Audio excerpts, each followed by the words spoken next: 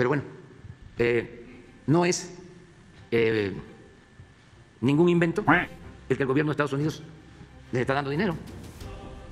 Nosotros enviamos una nota diplomática al gobierno de Estados Unidos para pedirles de que ya no estén financiando a estos grupos y que sean respetuosos de nuestra independencia. No nos han contestado todavía, pero vamos a seguir insistiendo.